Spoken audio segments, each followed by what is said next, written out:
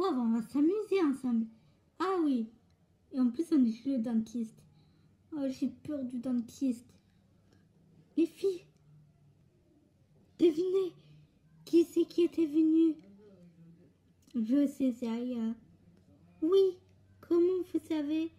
On te connaît par cœur, Jade. On sait que t'aimes bien Yaya et Angèle. Ah, zut, je voulais faire la surprise.